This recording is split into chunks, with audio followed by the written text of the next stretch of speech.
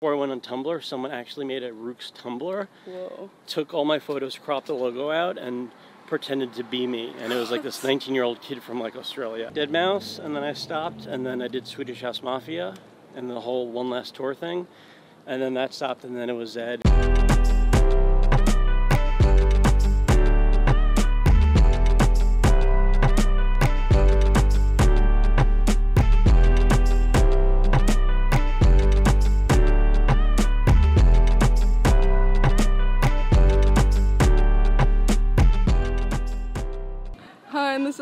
Of Sidewalk Talk to Him here with Rukes. Hey. so you're originally born in Long Island, Yes. or your parents originally from there as well? Yep. What do they do? Uh, my dad is a commodities broker. My mom is just a housewife. Oh, where do you think you got your creative side from then? Um, movies and video games, I guess. Oh, Because I mean, I just love playing like Nintendo, Super Nintendo, and just like I really was into like good graphics and stuff like that. Mm-hmm. And, like noticing the pixel art, how good it is, and watching good movies and being like, oh, look how they framed that and everything like that. And mm-hmm. that like kind of stands out to me. I just kind of recognized what stood out naturally, you know, mm-hmm. just like composition. and did your dad also play around with photography? No. Oh, so you just Like, all found it ba- yeah, basically they just had their own little film camera Yeah. And every now and then it'd be like would be like at a family thing like oh Drew take a picture of us? And that would be it. And that was the whole extent of photography for them. Mm. and for me. Yeah. and did you realize from the onset that you wanted to do something creative? uh, not really. I just didn't know what I wanted to do. At first I wanted to work in the video game industry so that's where I started. And I figured that would would help me get something creatively going like maybe working on a game or developing a game but then I realized it wasn't really for me so then I kind of switched over once I started doing photography So did you go to college? yes What did you study? uh, journalism Oh. Yeah. Did you really like it?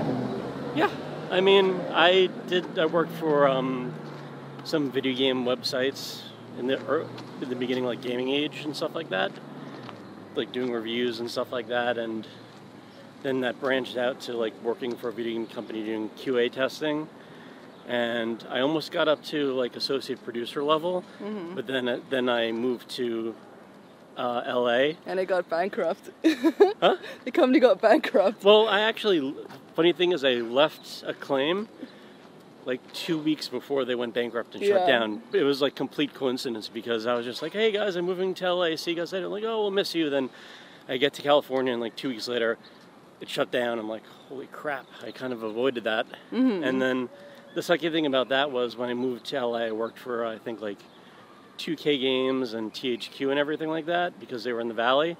And they basically, like, I had this huge, impressive resume of all the stuff that I did. I'm like, we don't care, start from the bottom again. I'm like, Is that really common in video games? I was kind of surprised when I read that in your previous interviews. what do you mean? To like start for like video games, like they can't just hire you as your experience. I don't know. I mean, I just figured, I mean, even like the special skills in QA testing that I learned that would be good, like TCRs and stuff like that, they didn't even really care. They just was like, well, you're new, you're starting from the beginning. I'm like, I did all this already and I did it very, very well. And it's kind of weird that you're not utilizing me for my skills, you know? Yeah. So it was a bit disheartening. And then mm. that's kind of when I took up photography and going to Avalon on weekends. Mm-hmm. And then I just kind of well, was like, hey, I'm liking this a lot. I think maybe I'll do this. Actually, for the random person who's watching who's somehow curious in the video game industry, what kind of tips would you have for them to get in it? to get into the video game industry. Yeah. I mean, uh, the basic way is just to like start off as a tester, I guess. I mean, it's probably changed because I this is like over 10 years ago since I did it, but I mean, just starting off as a QA tester, and it's really shitty hours and really long work. But if you do a good job, then you usually get promoted pretty quickly to like yeah. managing testing a game, and then keeps on going up from there. Do you? I guess you don't need like a computer science or anime Nah. background. You could just you just you just need to know how to write well and how to figure out stuff. Mm-hmm. Like I mean, when I worked there, there were a lot of people that just like would write a bug report and it would just be like sloppy and like you don't understand what they're saying because you have to like provide the exact steps to like replicate the bug or people that would just like see something wrong that's not actually a bug and then report it anyway. And sometimes i would have to i worked on the night shift and like some games uh, that I worked on, the people on the day shift would just like put up like, oh, we have 50 new bugs, and I'd go through them, and like half of them weren't even bugs, and I'd have to like close them, not a bug, close them, not a bug, to the point where like the manager's like, you got to stop doing this. They're getting kind of like mad at you for doing them. like, but they're literally not a bug. It's just ruining the whole process. So like, just let it go, and we'll handle it. Great. And I guess you're used to the crazy hours since your like video game job. It was like all over the place. So going yeah, into I mean, it worked out well because I was always like a night person, and I worked on the night shift when I did QA testing. So it was, I forgot the actual hours. I think it was like, like around three in the afternoon to maybe around like eleven at night or something like that, and that facilitated me being able to stay up for Yeah. going to Avalon and stuff like that, and my spare time on the weekends. Mm-hmm. How did you first find EDM? Um, I just I just happened to start listening to it. I forgot how. Like I came across it. I think I might have just heard some stuff online, and I think it was 1999, and I just started listening to like hybrid and BT and like new school breaks and stuff like that. And then just branching out and trying to listen to everything and seeing what I liked, what type of genres I liked and didn't like, and everything like that. And who were the first artists that you were shooting for at the nightclub? Um, it, when I started, I like even before I was officially hired by Avalon, it was just like a lot of good people like Sasha, Junkie XL, Rabbit in the Moon, just like a lot of the people that are actually still doing work in the industry. Mm-hmm. And did it click to you like the first night that you're like, I could do this for a living? No, no, definitely No? not. I was, I had no clue what I was doing. I just like was literally learning how to use a camera at the same time, and I was just taking pictures and just like waiting for someone to say what I'm doing wrong or what's good or what's not good and everything like that. And a lot of the artists I worked with, a lot of photographer friends were like, "You got to do this a little bit more. You got to try this." And whenever I do a good, whenever I'd create a good photo, they'd be like, "Well, no, this is what you have to aim for." I'm like, "Okay, Mm. maybe." And then I just started developing from there. During that time, were there are a lot of other EDM photographers? No, I mean I was one of the only ones. I mean most of the photographers are like party photographers that would just were more just like go to a go to a club, take hundred pictures of hot girls and maybe like one picture of the DJ. Yeah. And I kind of was like, you know what, I the D, people are the DJs are very important because you know they are producing amazing songs and people are coming to see them in general. Still back then, a lot of people were like, oh, let's just go to the club instead of like, oh, so and so's playing. And I figured, you know, some more focus needs to be put on them because they're actual musicians. They're not just like some random like local person playing other people's records. They're actually making most of the music that they're playing. You know. Mhm.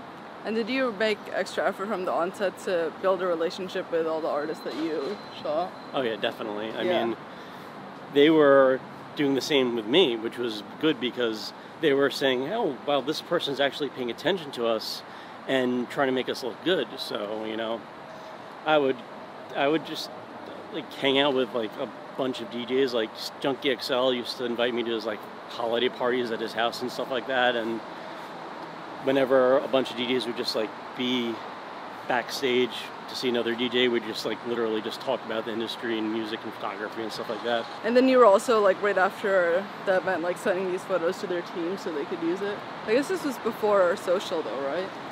Or MySpace, yeah, it was it was before then. So basically, when I first started, started there was really like no market really. So it was just like uh, it was just for fun. It was just like oh, just go to a club, listen to the music I like, take pictures, and then I would just put them on my website for other people, other fans of the artist to check out. So I just like post in their their message board and be like, hey, I just took pictures of so and so at this club, check them out.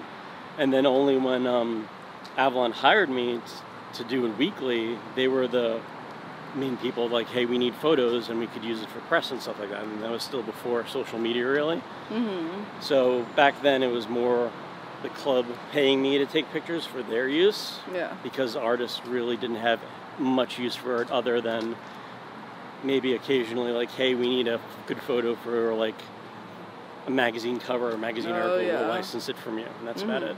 And what? So what year did you start your website? Mm, it's a good question. Um, I think I start. I started it um, 2004 Oh when I started gosh. when I started photography because Oh my god. Or maybe 15 years ago. maybe even earlier than that It's like a teenager by now. basically yeah like i think i originally started it as just a place to because i used to look for like rare promos of like music of the artists that i like so back then i would like rip all the music to my hard drive and put it on my like music player. And then with with um, winamp they had this really cool thing where you could just load up all your music in there and export an html list of all your music. So I would just like make it and put it up on my website just to show people some of the crazy tracks and stuff that are out there. And then, um, I meant when I when I um, first did my first ever photo thing at a club, which was BT at Avalon in New York. I basically, that's when I first started with the photo gallery. So I just created the photo gallery, uploaded it, and literally just put a link on the text homepage Yeah. on my website and had the link there. And then it just started growing and growing and growing. And then after I started getting jobs doing it, then I said, okay, I got to actually have a friend make a website for me. And mm-hmm. Yeah. And uh, how were you able to get traction to it? Like, do you still have? I guess you still have like monthly users that come time and time to just to check what you're up to. But how did you build that out before social? Um, it was just interacting with fans basically. It was Yeah.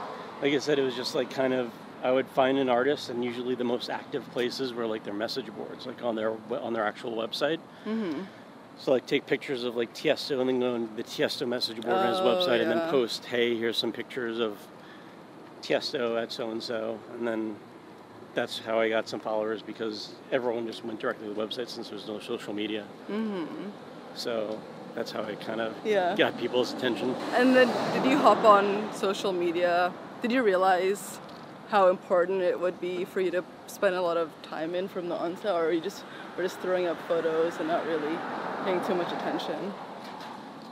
It was a little mixed. I think at first, I was I always waited until like a social media thing grew before I jumped on it. So like I wasn't like, oh my god, this Twitter thing, I got to jump on it. I was like, let me see how it is first, and if it's staying and staying around because I didn't want to waste my time putting Yeah. work into something that's gonna like go under in like a month or 2 Mm-hmm. So I, I waited a good amount of time for a lot of things, and then I'd always judge to see what would be best. So like originally Facebook pages were amazing, and that was like my main thing go to. Then I then once that started dying, then I switched to Instagram. Even though I had an Instagram, it wasn't doing too well. So like once Facebook pages died, I went right back to Instagram, and I was getting like a, a thousand followers a week for like a few years, and mm-hmm. that's when I built my my followers from like twenty thousand to like two hundred fifty thousand. You know? Yeah. Because it would just be like I haven't posted on this in a while, and then I'd post something, and hundreds and like thousands of people would like it, and I was like, oh my god, this is amazing. Yeah. thousand a month, a thousand a week. I just keep on doing it, Yeah. doing it, doing it, and doing it, and then. Of course, Instagram is crappy again now, so Um, how would you say your workflow has changed because of social media? Like, are artists getting more intense about like I need this photo ASAP, and like, you're, do you have pressure on yourself? Not really. I mean, I've always been, I've always had the mindset that people need to see things as soon as possible, Yeah. but in the best way possible. So, I would, uh, when I when I still did clubs in LA, it was to the point where I would actually leave the club early if it was like open till four and like the closer went on. I'd take like two pictures of the closer, go home, edit all the pictures, and then send it to and put up the gallery and send the pictures to the club before the club even closed that night. I would just because back then I just shot in JPEG and I edited in Photoshop. I just load everything in Photoshop and just do like Yeah. very basic tweaks, Yeah. and it was super super quick and super easy. But Mm-hmm. of course now I use Shoot in Raw and I use Lightroom and I give photos a little bit more scrutiny and everything like that. But I still like to get things done as soon as possible. hmm And when did you come up with your watermark? Did you realize that you need it from the onset? Uh, I came up with the watermark. Well, a friend suggested it because I think I forgot who I was taking pictures of, but it was at a club in LA, and they were like warning me, like, "Oh, this person you're gonna take pictures of tonight, they like to like steal photos and not give photo credit and Oh, use wow. them for stuff like that. So you should put a watermark on them." So I put like a little transparent uh, Rukes.com or Drew Ressler in the middle of it, so at least there'd be like a little wa- literal watermark in the middle. And then eventually I kind of was like, you know what, this is kind of distracting a little bit. Like most photos, it wasn't distracting, but some it was. So then I had one of my friends who developed my website develop a logo for me.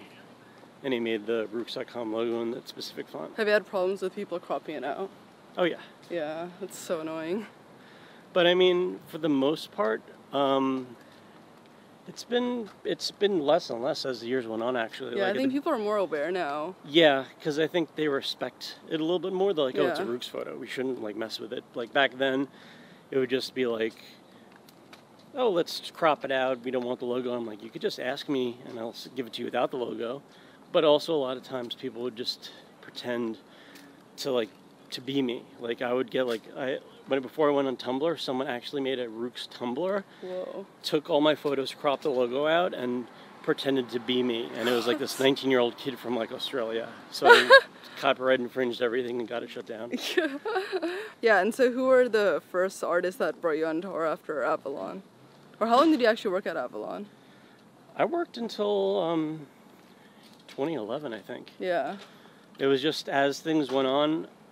At the beginning, it was just nothing but Avalon. Then Insomniac hired me in like t- 2007 to do like EDC and all the, their festival stuff. So that would work their way in, and then then they started doing um, Vanguard in LA. So then I started fitting that in, and then uh, Giant started doing like Thursdays in Orange County. So it just kind of became like a regular set schedule with like one or two festivals in between. Mm-hmm. And then at the end of 2007, I was introduced to deadmau5, and then he brought me out for WMC in Miami in 2008. And then after that, he's like, "Well, we're gonna do a tour, and come on, come along." I'm like, "Okay." Actually, with deadmau5, what was the thing of the Hello Kitty costume? Oh, that yeah, that was um when we had um this Europe tour, and we ended up like the last bit was in um, the UK, and then I forgot who came up with it, but it was um Sophie, Tommy Lee, Joel's girlfriend, Joel and his girlfriend, and they just decided, you know what? Why don't we go to like a costume shop and get full body costumes, and then just run around in the crowd before the show and make people go, "What the fuck is going on here?" and Rukes could just take pictures of people going, "What the fuck?" and just like all these Hello Kitties and Pink Panthers dancing in the middle of a crowd of an empty show. And they ended up doing that, and we like wandered around the, the show before it opened. And then one time I was, and then um, we were editing the photos. While I was editing the photos, after we just did like a big walk through the venue, and Joel was still in his Hello Kitty costume, and it was on like one of those trailers inside the backstage of the venue. So I was just sitting on the table editing my photos, and I just heard knock knock, and I look, and there's like a Hello Kitty with a hand like this going, and I could just see Joel's face inside of there Yeah. behind the mask, going, "What the fuck did I just do?" Because he just like banged on the oh glass, my but it was very weak glass, and he just and just seeing like a Hello Kitty that punched through the glass to get my attention was just like, "Oh my god." You met a lot of these people like Zedd, Steve, like before they blew up, right? Yeah, All pretty these much. people, I mean, yeah. All, of it was pretty much networking and just being at the right place at the right time sometimes. Like with Zedd, I met him when uh, he opened for deadmau5 in Taiwan, of all places. and Sophie knew him because he was from Germany too, and then introduced everybody. And then when he came out to LA for the first time, he was working on Clarity, and he had me come over and Oh, take wow. pictures of him making the album and stuff like that. Actually, with that, do you want to elaborate on your comment? I think people, I covered it in the EDM news, but I think people were curious about your check your DM. Which one? About Zedd and Matthew Koma. Do you Oh. want to talk about it? No. No. Okay. and then after that, who else? Who who was the next artist after that? I mean, I think for the major touring, that pretty much was it because it was just it was um, basically deadmau5, and then I stopped, and then I did Swedish House Mafia, and the whole one last tour thing, and then that stopped, and then it was Zedd, and then I stopped with that, and it's gotten to the point where touring is a bit difficult if it's not a like live act. Like hmm. Danilo has it lucky because he's got the Chainsmokers, and they actually have a live act and Yeah. things move around and do stuff. But doing getting pictures of a DJ that just stands in the booth the whole time, Yeah. and it's the same set every gig and the same production and the same visuals every gig. It's difficult because you want to just constantly work, but at the same time you can't be like you can't go crazy every gig because and every gallery looks the same. So you gotta be like, okay, got this visual from front of house last night, so this night I'll get it from the stage, and it's basically just a lot of switching and it's repetitive. And Yeah. it kills you creatively a little bit because the only creative difference you really have between gigs is the venue itself and how it's laid out. And like, oh well, the, there's a balcony here, I could use that, or the front of house is off to the side, so I can't use that. You know? Mm-hmm. Does it get so repetitive, uh, repetitive that you want to just change to some other photography? No, I mean it just uh, the thing that helped me with that was just doing more festivals and doing more one-offs. So instead of doing entire tours, like for Illenium and Excision and stuff like that, they'll just bring me out for like the big important gigs, and then Oh, they'll have their own tour photographer for like all the smaller ones in between, which also gives me space to do festivals. So since there's tons and tons of festivals, like back when I started, there was maybe like one festival every three months. Now there's like almost a festival every week. Yeah. So it's it's So it's affecting it's affecting tours too because now tours aren't doing well for specific artists because they'll just be like, mm. oh, well, just wait till they come to the Oh, festival. yeah. So that's why artists have to spend tons of money to make them something special to get people to come out to their mm-hmm. tours. Do you- But- yeah. but doing festivals, I like it a bit better because I get to make a lot more DJs happy because I, I could just take pictures of the entire lineup on a stage and then all of them like, oh, we got new pictures, that's great. And then uh, there's always a variety with different visual styles and them doing different things. Like if Stevie Aoki's in the lineup, I'm like, okay, now I know to get some action stuff and Oh, Cake yeah. the Rung and stuff like that. And in the past few years, I feel like there's just been so many more EDM photographers. Do you ever think it's uh, competitive in a certain way, or if artists are like, oh well, this guy can do it for like X amount less, or you don't? Oh, yeah. recur- yeah. It's definitely much more competitive, and there's definitely a lot of people that'll work for free and, you know, try to do it for the party aspect. Yeah. But thankfully, it's it's kind of um, a lot of people realize that. Like the people that, the way I looked at it is that the people that need media are willing to sacrifice quality for someone that's working for free. Yeah. But once someone starts, like a promoter or an artist starts making a lot of money, then like, okay, we could afford like a real professional photographer, and we don't have to deal with like this free person anymore. So it kind of weeds itself out in the end, but it's still kind of difficult to deal with every now and then. Yeah. Actually, what advice do you have for um, people who want to be photographers and figuring out rates and not like how they price themselves, and also like if they want to like increase it a bit in the future? What kind of advice do you have? I mean, it's it's that's a very tough subject to deal with because I mean, at this point, I have a manager, so she Oh, sets my rate and everything.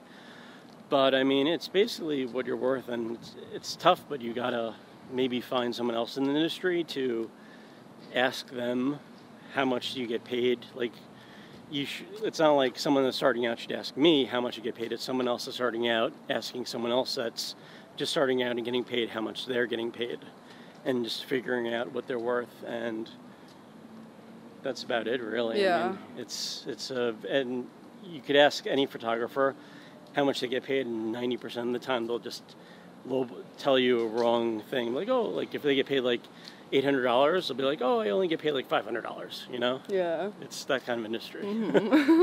And how how do you figure it out? Like, do you would would you like the same artist? Would you like okay, I'm gonna increase my rates by this much? Would you ever be like early on? Would you ever be afraid of like oh like you don't want to like because they can Yeah. find someone else? Yeah. Yeah, def- definitely. It was always it was always a very touchy subject Yeah. because, like you said, I didn't want to be like, I need this much money, you can't have me. It's more kind of like, uh, I'd like a little bit more money, but if you don't want to give it to me, it's okay. Just let me know. I mean, Yeah. just, just very unsure because I didn't want to be like, no, we don't want to use you. So I kind of had to find the right balance of saying, I kind of deserve a little bit more money, but at the same time, if you don't want to pay the raise, I won't quit, but at the same time, know that someone else might pay that mon- money, and then I Oh, might switch to them, kind of thing. Oh yeah. Yeah. That makes sense. And when did you start having a manager? Uh, probably like five years ago, maybe. Like I just did a Coachella when Coachella had actual EDM artists, and more than more than two or three. Yeah. and then the Sahara Tent would just be like packed with like tons of people, and I would be at the point where I would just, for Coachella, I would just book the hotel myself, and then just divide up the hotel and a fee to all the DJs on the lineup, and just split everything so Oh, yeah. everyone would get me for a decent rate, but I'd be paid a full day's rate, full festival day's rate in the end. Uh, because of that, it was very difficult to chase up invoices, you know, because Oh, having yeah. like 10 people on a lineup and each of them have to individually pay for their share of my hotel and my fee, and then like after a week, only three or four of them pay, and then I have to send everyone an email reminder, and then one person pays, and then it'd just be like, I'm at doing other work, and half the people still haven't paid, and I'm just like, mm. I can't, I can't do this. I can't spend my time worrying about money coming in or chasing it up. I need someone to just like get people get people to give me their, my money, Yeah. and that way I don't have to worry about it. And then when it comes in, it comes in, and I don't have to be like bug them, you know. And then she is able to handle getting my money, giving getting me a little bit more money, getting my worth, stuff like that. and does she also do um, networking, or you already have other connections? Uh, it's a mix. I mean, I have a lot of connections already, and I do like I do like being involved. But at the same time, she'll bring some stuff to the table, like, "Oh, we have this option. You want to do this?" Stuff like that. And going back to artists, how did you meet Avicii? I actually him through deadmau5 because Oh. um, we were at WMC, and he just happened to come by. He was at the actually the entrance of the hotel that we're staying at, and then him and Joel were just like talking outside, and I just got introduced to him Mhm. then, and then he played like his first gig opening for like Judge Jules at Music Box here in LA, and I took pictures of that, Yeah. and then just like everything else, it just grew from there. And it's like, oh, we need a photographer, come on tour, stuff like that. Mm-hmm. What was your reaction when you heard about his news? It was really disappointing. Yeah. Yeah. And because you how how long would you have would you say you've spent with him? Like half a year in total, or or more?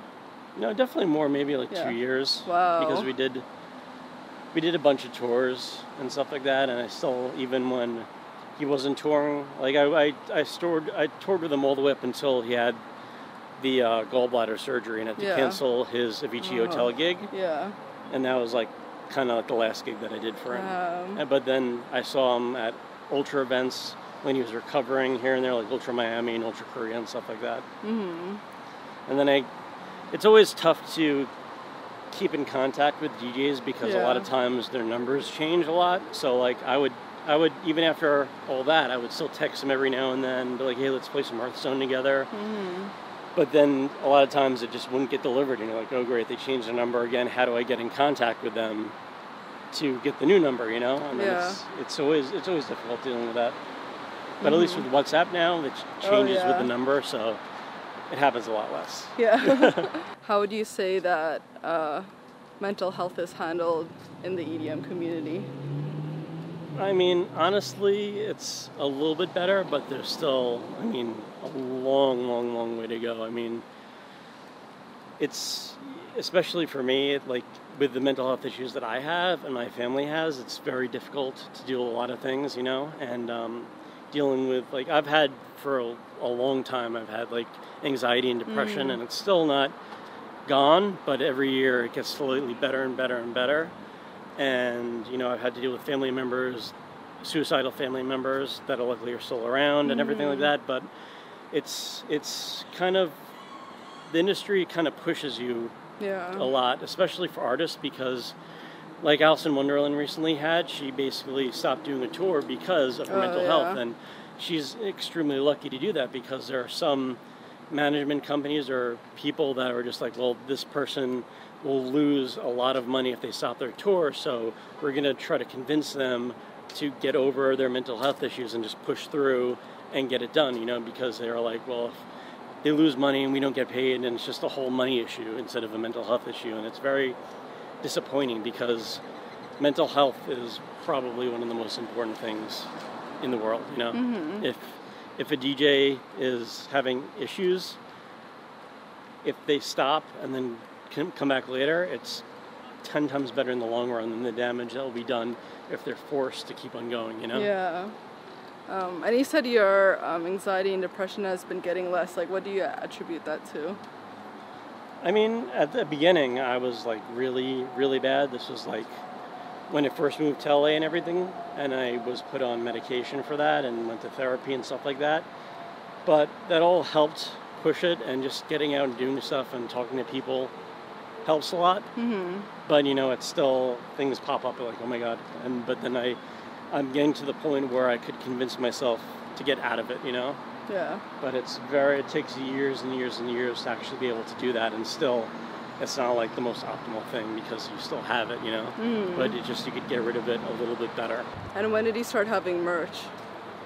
um original i did it a few years ago i just did like works t-shirts and stuff like that and i gave them out to like friends and then eventually i did more like kind of branded stuff but that never really took off and then i worked with uh, iHeartRaves, and we did the whole like photo, like photo covered like hoodie and T-shirt and stuff like that, which worked out pretty well. But the only problem is because it was like an all over coverage thing, every item had to be like made on demand. You know, it wasn't something that Oh, they could just like have sitting in a warehouse, and that hurt. That didn't help it grow a lot. So we ended up stopping doing that, and now I'm working with. Um, Electric Family, and we're going to start a T-shirt line Oh, starting at the end of October, and it's going to be like actually supported and endorsed by the artists and everything in the photos, Mhm. and they're going to be pretty limited T-shirts, and it's going to be like photo on the front and on the back, the actual camera settings too, which is pretty cool. Yeah. So hopefully Uh, that'll work out. Yeah. What are your future goals for your career? Do you want to keep doing the same thing or? Uh, it's I just never know. You know, I, I like where I am now, and I just hope it keeps it going and just expanding my photography, doing more photography related things. That's Yeah. about it, really. I mean, just seeing where it goes, hoping it continues, and Mhm. it's every year that uh, every every year that I'm like, oh great, this is like the last year. then I might be able to do this because the industry is going to crap. It would end up being like my best year. and like, oh, okay, that worked out well. We can keep on going. And is there a reason why you don't want to like start a team or like you like you uh, employ people under you? I mean, that might happen eventually if, like, I start getting really, really tired of doing what I do. But for now, I just, I, I just like Rukes photos being from me. You know, Yeah. it's it'd be kind of tough to just be like, because there are other people that will just. Everyone will dump their raws, and then one person will edit them, and they'll be like, "Hey, this is this group's photos and everything like that." And that's kind of that's to me that's not that's base it's it's a it's a collaboration but i kind of like every i like people knowing that my photo is everything from me from taking the picture to editing to uploading you know Mm-hmm. but again like i said if I eventually get tired of it then i'll start hiring a team and then doing that kind of thing but it's probably not going to be it for a long time Yeah. Actually, with your name, it's. I mean, back then I didn't really know too many photographers who had a moniker, right? Like most Yeah. photographers go by their names. So like back then, that was even before like social media when you had to think of a handle. Exactly. Yeah. yeah. So I mean, I know that it's because of the AOL, like the the K and the L got swapped. Yeah. Um, but like, how did you decide that like I'm not gonna go by my normal name? I just thought that it just my uh, it just was like a bit. My normal name would be long Drew Ressler, and just kind of like some people have trouble pronoun- pronouncing the last name, so I'm like I don't want to have to have deal with that. You know, my photography job, I don't want people saying, "Oh, check out Drew those photos." You know, I just want someone to be able to look at and be like, "Oh, Rukes." Yeah. know, and do most something people short. just call you Rukes now? Like they just spot you and they're like, oh, it's Rukes. Pretty much, yeah. Yeah. Short and simple. yeah. and how was your camera equipment changed over the years?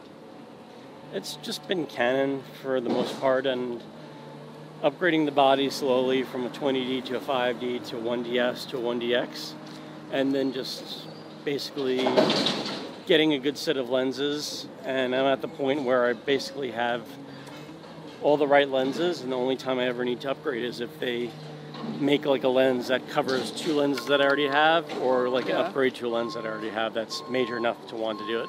And you never tried any other like Sony or you'd realize you're a Canon person from the I was kind of, I was, I just kind of realized I was stuck in the whole Canon ecosystem. Yeah.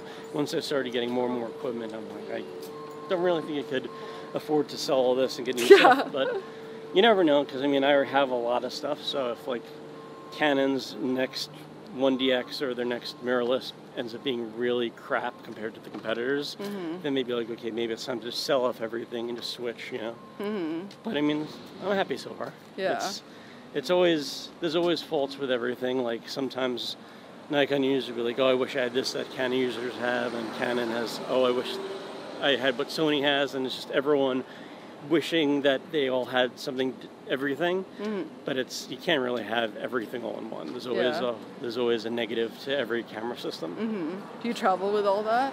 Yeah, Whoa!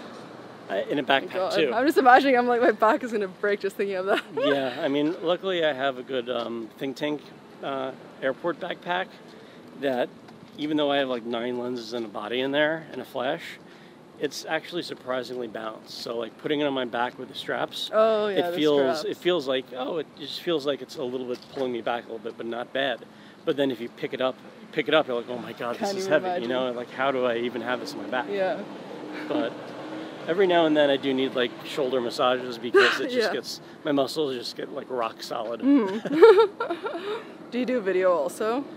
Uh, I've tried and I don't mind it. It just depends on the capacity. Like, um, I want like a few years ago, I wanted to with an artist I worked with. I wanted to do video and I wanted to do like short like they had a they had a videographer that did um, that did uh, what that did recap videos of like they didn't film the entire tour and then they did a recap after movie of the entire tour and I was just like you know what let me try um, let me try video editing and you know I downloaded the trial for the software for Adobe and recorded some videos and put it together put it to some music and I'm like, wow, this is actually not that bad. It's pretty easy. I mean, I'm not going to be able to do the crazy transitions that a lot of people do yet, but it's pretty decent for something basic like a 15 second clip for like Instagram.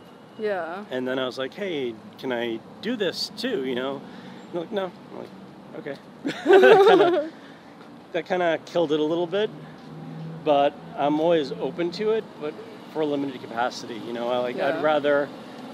I don't mind editing and doing like a little little recap for social media, but definitely nothing with like live audio or something really extensive and extensively long and stuff like that. Or if it's like a collaboration kind of thing where it's like, hey, we have a video guy, just film some stuff in your spare moments in between photos and then give them the raws and they'll put it together kind of Yeah. thing. You think? Yeah. with the lenses I have, I could do some really Yeah. unique photos. Like I have like 1.2 lenses, I have a tilt shift. I mean, that will make that makes for an amazing Yeah. video stuff. But Yeah. it's tough to. It's it's kind of like all or nothing kind of in the industry. You know, it's like either you do tons of video stuff or just stick with what you're doing kind. Yeah. Is it because the um, for video the time taken to learn everything and do it is just too much? Yeah, and at the same time, it's very tough to.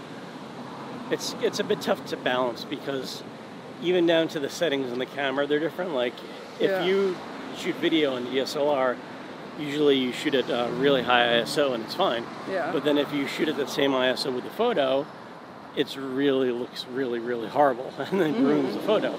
yeah. So it, I would it would be tough because you'd have to get the right settings for video, and then when you want to take a photo, then you have to go and change the whole thing over and get the right settings for photo, and then when you want to go back, then you change to the right settings for video, and it's a lot of back and forth. That's a bit time consuming, you know.